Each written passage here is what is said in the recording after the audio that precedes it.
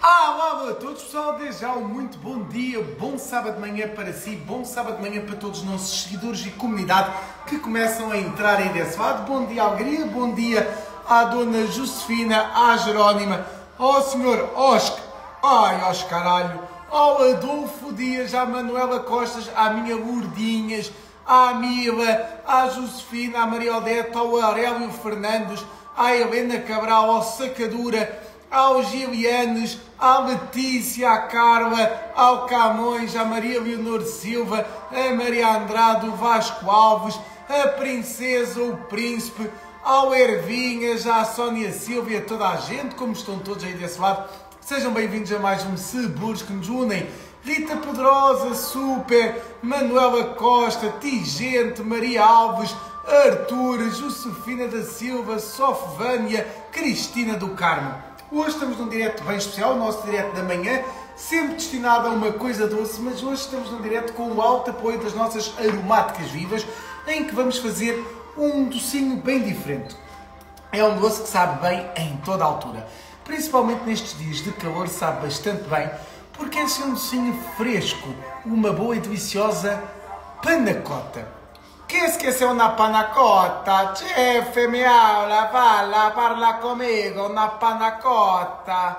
Então, uma panacota não vai ser uma panacota normal. Normalmente uma panacota é um doce italiano que leva nata, baunilha, gelatina e depois leva um cozido de frutos vermelhos. Decidi inovar este doce fazendo uma panacota com uma ervinha bem diferente.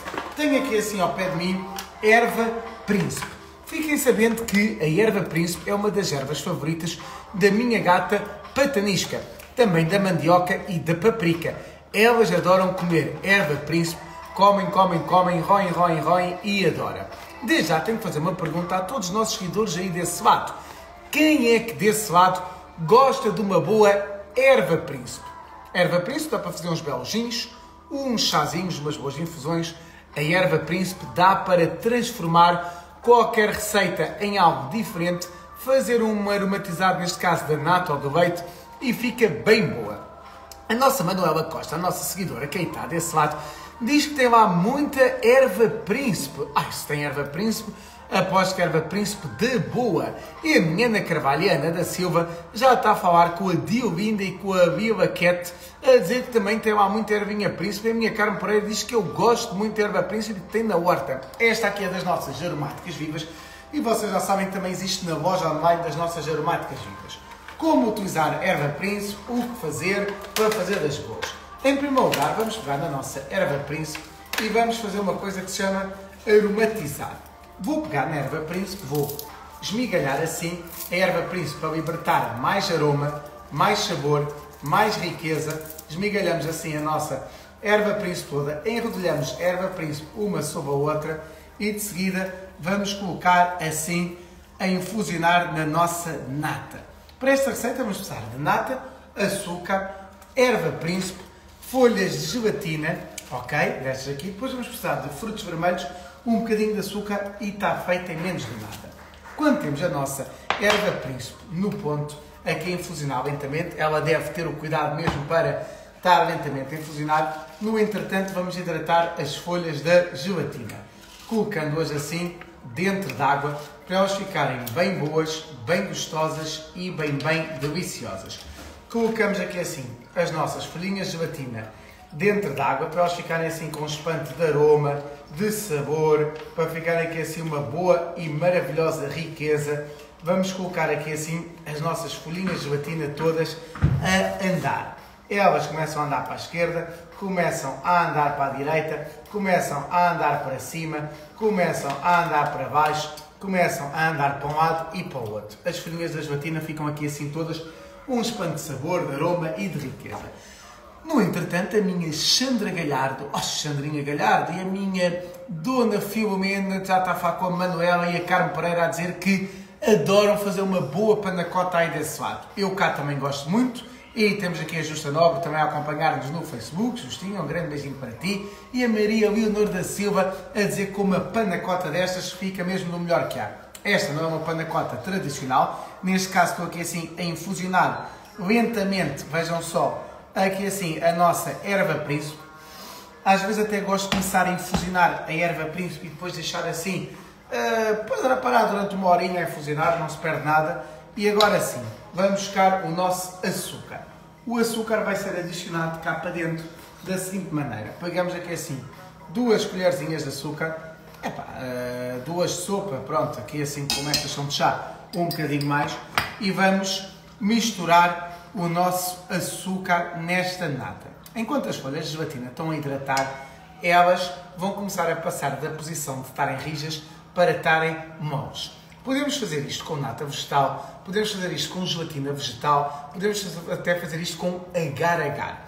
Há vários agentes gelatinizantes e se vocês forem procurar bem aqui no meu Instagram, dentro das nossas dicas da semana que nós temos indo lançando aos poucos, acabamos por conhecer diferentes agentes gelatinizantes. Estes agentes gelatinizantes acabam por dar aqui assim um forte contraste de cor, de aroma e acabam por conseguir envolver na perfeição tudo isto. Claro que muitas das vezes, quando envolvemos a nossa nata, vocês pensam assim: ah, isto demora tempo a aromatizar, a infusionar, tal como as folhas de gelatina demoram aqui assim algum tempo a hidratar. Isto é uma cozinha em que temos que dar tempo ao tempo. Temos que deixar as coisas namorarem e os sabores evoluírem, progredirem naturalmente. Neste caso, temos então assim as nossas folhas da gelatina, já todas elas a ficarem bem hidratadas, bem saborosas e vamos começar a preparar as nossas formas para colocar a panacota. Podemos fazer uma panacotona aqui assim uma panacota gigante, ou podemos utilizar as simples formas de pastel de nata, ou até mesmo mini copinhos, para fazermos as panacotas mais pequeninas. Eu gosto muito das pequeninas, claro que ficam bem, desenformar uma boa panacota mais pequenina acaba de ficar perfeita, mas também podemos fazer uma panacota gigante para depois desenformar uma panacota grande e assim também conseguimos tirar o máximo de partido, às vezes, de uma receita para toda a família, para cada um corta um bocadinho maior, mais pequenino, cada um vai fazendo conforme mais gosta, sem qualquer problema e sem qualquer limitação, ok? Acho que isto acaba por ser também muito importante, assim, estas ideias para vocês depois também conseguirem explorar. Às vezes uma maior ou outra mais pequenina, sem qualquer stress. O que é que vamos fazer nesta fase? Tenho aqui assim a nossa erva príncipe para ser retirada. Vou pegar aqui assim nesta nossa ervinha príncipe, foi aqui assim infusionada, e vamos retirar a erva príncipe toda. Claro que podemos retirá-la passando por um coador, ou até mesmo com uma simples pinça, retiramos aqui assim estes pedacinhos de erva príncipe. Bem, parece que neste momento tem aqui assim uma infusão, e tem uma infusão não em água, mas em nata desta mesma erva príncipe. O que é que fazemos de seguida? Algo tão simples quanto pegar nas nossas folhas da gelatina, que aqui estão, vamos espremê-las bem, assim, e vamos colocá-las para dentro da nossa nata. Elas entram para dentro da nossa nata e vamos remisturar. O que é que é o remisturar? É o colocar aqui assim as natas dentro com a nossa gelatina até ficarem assim literalmente no ponto loucura, no ponto perfeição. Temos neste momento a nata infusionada com a erva príncipe, o açúcar e as folhas de gelatina cá para dentro. O que é que podemos fazer já, já, já de seguida? Começar a dosear. Para dosear para dentro das nossas formas, podemos utilizar até mesmo um doseador típico para encher pastel de nata ou despejar tudo até mesmo para dentro da nossa forminha. Cada um pode fazer conforme mais lhe é conveniente. Então, pegamos então aqui assim, assim, vejam só, no nosso preparado todo, colocamos o nosso preparado aqui assim com a nossa nata e podemos encher ou diferentes forminhas pequeninas, aqui assim, olha lá, tão perfeitinho, tão bom, tão singelo, vejam só aqui assim, as nossas forminhas todas a serem cheias, ou podemos, por simplesmente, aqui assim, vagar tudo isto para dentro do nosso, da nossa forma grande. Vamos colocando aqui assim à volta, tudo isto para dentro da nossa forma, até ela estar bem cheia. E aqui assim ficamos com um mega pudim. Quem quiser também pode utilizar, eu aqui não quis fazer isto, mas às vezes podemos utilizar aqui assim um bocadinho de spray desmoldante para untar a forma. O que é que o spray desmoldante faz? Faz pura e simplesmente assim algo que é o conseguirmos retirar tudo ao máximo, neste caso o desmoldante ao ser retirado da nossa forma, conseguimos depois de enformar às vezes com maior facilidade. Pegamos aqui assim na nossa panacota e agora vamos levar a panacota ao frigorífico. Vai ao frigorífico, solidificar aproximadamente aqui assim duas horinhas, está bom? E quando ela sai do frigorífico, acaba por sair assim, já bem gelatinizada. Vejam só que assim, ela acaba por estar toda bem gelatinizada, acaba por estar toda no ponto, e vocês dizem assim, ai chefe, agora fazemos assim e ela não sai. Não sai, mas vamos ensinar um pequeno truque, que é, podiam estar aqui assim a fazer assim, horas e horas, podiam estar aqui a escarafunchar até ela perder a forma, podiam estar a fazer aqui assim 30 por uma linha, mas há um pequeno truque para ela sair na perfeição, que é com uma panelazinha com água que começa a aquecer, ok? Afogamos só aqui assim um bocadinho da panacota para a gelatinazinha aquecer só 2 segundos, está bom? Então, baixamos aqui assim, vejam só, 2 segundos, aqui assim no fundo, ok? Ela abana logo e agora, logo de seguida, podemos desenformá-la de imediato. Escorremos o excesso e aqui assim desenformamos a nossa panacota de imediato. Vejam, ela sai exatamente na perfeição. Gosto sempre de vos ensinar pequenos truques para que ela consiga assim melhorar a sua dinâmica. Depois, podemos pegar num pouco de frutos vermelhos e vamos fazer um cubi. O que é que é um cubi? Muitos de vocês dizem assim, ah, oh, chefe Fábio, cubi para aqui, cubi para lá, cubi para a esquerda, cubi para a direita. Então, o que é que é um cubi? Um cubi não é nada mais nada menos que um molho de frutos vermelhos. Tenho aqui assim os meus frutos vermelhos na frigideira a aquecer, mas nós também podemos infusionar os frutos vermelhos com erva príncipe. Assim ficamos com os frutos vermelhos com um sabor ligeiramente diferente. Estão aqui a ver? É muito simples, é muito fácil de fazer. Pegamos então aqui assim na nossa erva príncipe e vamos primeiro cortar a erva príncipe longitudinalmente. O que é que significa isto? Significa que a nossa erva príncipe vai ser cortada em pequenos pedacinhos sobre o seu comprimento. Então, temos agora a erva príncipe toda na perfeição e vamos picá-la finamente. Vamos picando aqui assim a nossa erva príncipe até ela estar mesmo no ponto loucura, no ponto perfeição máximo da vida, no ponto rebuçado. Vamos então aqui assim, picando a nossa erva príncipe até ela estar assim bem, bem, bem gostosa. De seguida, aqui, vamos colocar cá para dentro a erva príncipe toda. Colocamos aqui assim a erva príncipe e vamos misturar, envolver. Eu faço um chá gelado com erva príncipe, às vezes muito bom. Tenho sempre um chazinho dentro do meu frigorífico, gosto de fazer assim diferentes infusões na minha vida e um chazinho de erva príncipe fica bastante bem. Aqui, erva príncipe com os frutos vermelhos, a aquecer, fica no ponto. Vejam só, temos aqui assim um cubi fantástico, bem bom, e o nosso Albino Bento diz que adora, e a nossa Marta Ferreira diz que já dava uma dentada. Podes dar, Martinha, dá uma, dá duas, dá três, fica bem bom. A minha Paula Cristina diz que isto assim é mesmo do melhor que há uma panacota destas, sim senhora. Depois desta infusão estar feita, devemos colocar a arrefecer um bocadinho esta infusão aqui assim em água fria e a nossa infusãozinha a arrefecer. Depois dela estar bem fria, está na altura de a colocarmos sobre a nossa panacota. Como é que vamos fazer? Pegamos aqui assim na nossa infusão, já fria, a nossa panacotazinha, vejam, é um treme-treme, parece aqui uma gelatina treme-treme. E agora sim, vamos colocar um bocadinho por cima. Oh, que bonito! Que bonito, família! Que bonito! Agora, gosto sempre de dar toques diferentes nas nossas sobremesas. Pegar num bocadinho de assim, vejam só, um pedacinho, neste caso bem simples, de erva príncipe. Quem quiser utilizar uma outra erva aromática como poeis, pode utilizar. E agora pegar aqui assim nas nossas flores comestíveis e colar aqui assim uma florzinha comestível cá por cima. Bem, quem é que disse que uma simples sobremesa não pode ser simples, rápida, fácil e maravilhosa de se fazer?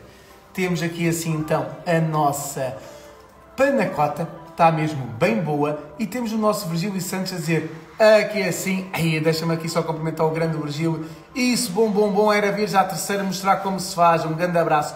Virgílio, um grande abraço para toda a malta que nos vê dos Açores. E olha, eu sem sombra de dúvida que estou aqui a ver se arranjo uma viagem até à Ilha Terceira. Eu já disse que à minha terceira e à terceira. Já fui algumas vezes aos Açores, à Ilha Terceira ainda não fui, mas quero muito ir, até mesmo para comer uma alcatra da terceira, ali bem feitinha, como deve ser, como manda a lei a tradição. Quero muito, sim senhora. A minha Andréia Guerreiro Oficial também. Ai, Andréia Guerreiro Vial e a nossa Carla Mateus e a Matateus e a Anocas também já estão aqui assim a ver a dizer está lindo e maravilhoso, está bom demais.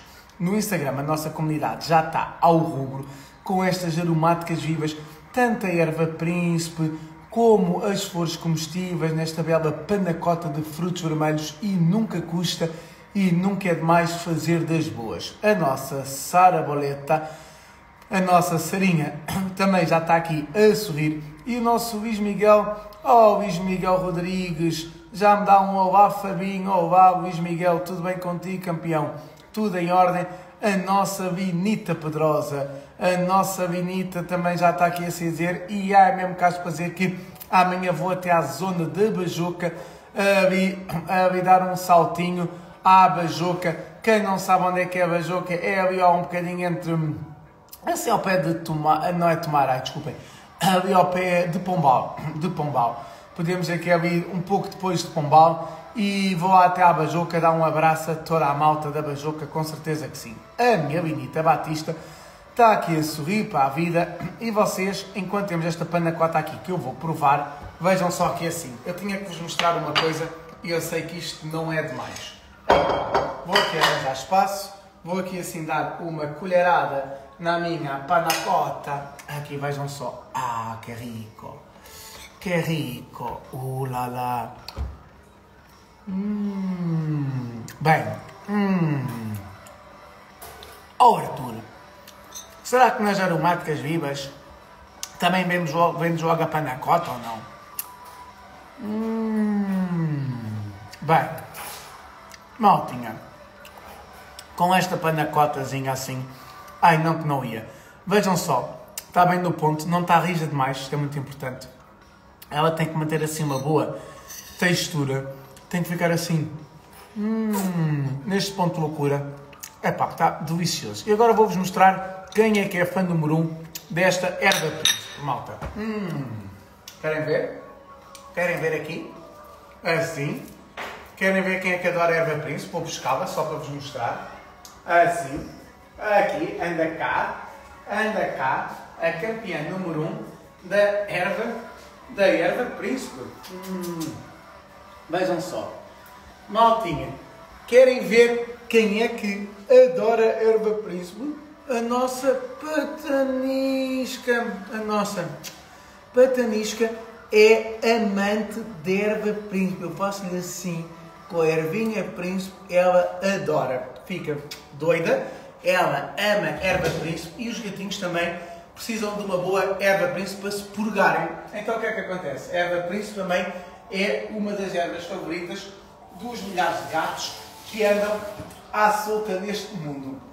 Eu sei que vocês aí também, desse lado, para quem tem os seus gatos e adora um bom gatinho, sabe que a erva príncipe é uma das favoritas dos vossos animais de estimação. Isso é uma das favoritas dos nossos animais e dos nossos pet friendly também pode ser das nossas favoritas nos nossos cozinhados. Nunca se esqueçam que muitas das vezes os nossos animais sabem o que é bom e a minha patanisca adora uma boa erva príncipe das nossas aromáticas vivas. Se até a patanisca gosta, porque é que você não há de gostar? Há de gostar, sim senhora. Bem, malta, isto tem sido conteúdos fantásticos com ótimas receitas e hoje esta já está aqui assim a sair bem boa, bem gostosa, bem deliciosa. Hum, bem, que rico. Aprendemos a utilizar a erva príncipe, tanto numa infusão, que não pode ser só em água, pode ser também em nata, para fazer uma panacota e para gelatinizar. Aprendemos a dar um toque de picado na erva príncipe num simples coulis, para quando trincamos o coulis, trincarmos assim aqueles pedacinhos de erva príncipe em suspensão no meio deste coulis e depois ainda aprendemos a utilizar a erva príncipe para decorar uma boa sobremesa. Quem quiser ter acesso a uma boa erva príncipe ou até mesmo outras ervas aromáticas, Stevia, poejo, horto-ananás, horto-morango, horto-pimenta, horto-chocolate, horto-da ribeira, horto normal, diferentes tipos de hortelãs, diferentes tipos de ervas aromáticas, cerefóvio, uh, salva, estragão, entre outras, já sabe, pode ir à loja online das nossas aromáticas vivas. Indo lá, vocês conseguem tirar o máximo de proveito de tudo isto. Ainda tem micro-rebentos e flores comestíveis. Amores perfeitos flor de mel, entre outras. Ou seja, isto fica bem delicioso. Adoro estas coisinhas todas bem boas, bem gostosas. E o meu Luís, ao Coruja, Manuel e a Tatazinha já estão a dizer que isto está mesmo bom, bom, bom demais. Malta, se está bom demais ou não, digam vocês. Mas uma coisa vos garanto.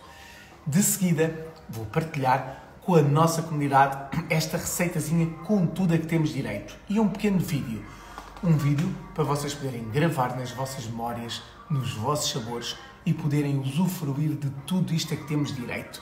Malta, já sabem que eu sou o chefe Bernardino, estes são os sabores que nos unem e hoje tivemos o grande apoio e patrocínio das nossas aromáticas vivas neste nosso direto. Um direto bem gostoso, bem delicioso, que dá para o menino e para a menina, que dá também para si e que fizemos uma sobremesa, quem sabe, a sua favorita aí de casa. Vá, compre uma boa erva aromática, inove, faça das boas. Nunca é demais utilizar diferentes ervas aromáticas na nossa vida, ajudam-nos a promover a saúde, a reduzir muitas vezes na quantidade de sal, outras, como o caso da stevia, a reduzir no açúcar e assim conseguimos às vezes ter um maior equilíbrio na nossa alimentação. As nossas aromáticas vivas, uma empresa 100% portuguesa da nossa Viena do Castelo, uma empresa que espalha magia, saúde, sustentabilidade e que acaba por ter muitos valores com os quais eu me identifico. Uma empresa amiga das crianças, uma empresa amiga dos animais, uma empresa que é inclusiva também na, na criação de postos de trabalho também dentro de mão de obras com alguma deficiência, uma empresa que partilha todos os valores em torno da sustentabilidade, da ecologia e, acima de tudo, uma empresa diferente, uma empresa próxima de todos nós. É por isso que eu digo que é com muito orgulho que me mantenho e me manterei chefe embaixador destas nossas aromáticas vivas. Enquanto houver ervas aromáticas para difundir e para espalhar neste mundo, cá estarei eu a ensinar, a promover e a dar boas dicas de como tornar a vossa vida mais saudável, mais saborosa e, acima de tudo, bem atrativa. Nunca esqueçam que os bons cozinheiros são aqueles que procuram a diversidade e a aplicação destas mesmas ervas aromáticas às vezes rebuscando um sabor, rebuscando uma memória, uma identidade e procurando de alguma maneira equilibrar estes grandes pratos. Estão-me a mandar beijinhos da Almada, de Estremoz, da Albergaria à Velha, uh, estão-me a mandar beijinhos de Lisboa, de Oeiras, de Sesimbra, estão-me a mandar beijinhos do Montijo, estão-me a mandar beijinhos do Fundão, Castelo Branco, Vila Velha de Rodão, Mundinho de Basto, ah, oh, Senhor Basto, aí também Mundinho de Basto, Estão-me a mandar beijinhos de todas estas partes deste nosso Portugal e do mundo. António Brás Santos, beijoquenses desta vida, Deusinha Franca dos Açores, Maltinha que nos vê da Madeira e todos os nossos portugueses e comunidade portuguesa que nos vê lá de fora. Um grande beijinho a todos, um grande bem-aja e já sabem que se alguém se inspirar nesta ou noutras receitas do meu Instagram, fotografe e partilhe comigo o resultado final. O direto desta manhã foi com todo o sabor com toda a tradição. Rebuscámos uma receita italiana na boa panacota. Demos-lhe o nosso toque de inovação com uma erva príncipe das nossas aromáticas vivas tão portuguesa e tão autêntica e do mundo inteiro para todos vocês e desta simples casa e deste humilde direto para todo o mundo. Eu sou o chefe Bernardino, estes são os sabores que nos unem e esta é a nossa panacota de erva príncipe. Beijinhos incríveis para todos vós, um grande sábado bom sábado em família, aproveitem para passear, para cozinhar e, acima de tudo, para serem felizes. Aqui a felicidade já cá está no prato, já cá está na mesa. Beijinhos a todos, um grande bem-aja e não se esqueçam, quero ver de seguida o vosso comentário no pequeno vídeo que explica detalhe a detalhe desta boa receita. Estamos combinados? Se sim, deixem lá o vosso comentário, deixem o vosso gosto e inspirem-se. Bora lá isso, pessoal. Beijinhos! e até logo às 19 horas para mais um grande direto. Vocês são fantásticos, são maravilhosos e são, sem sombra de dúvida, o melhor público do mundo. Obrigado por estarem sempre aí tão presentes aqui no meu Instagram. É verdade, chefe underscore Fábio Nardino, todos os dias às 19 horas e ao sábado e ao domingo também damos das boas fazendo uma boa doçura logo de manhã. É bem bom, é bem gostoso, dá para o menino e para a menina, dá para todos vocês e dá para sermos bem felizes. Ai que boa ervinha! Opa, tens erva príncipe! Se tens erva boa, mete também amores perfeitos, mete tudo lá dentro e ser feliz. Beijinhos, um grande bem-aja e até logo.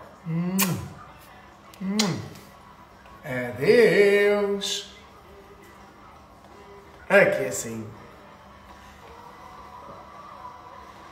Tchau, maltinha. Fiquem bem. Bons cozinhados.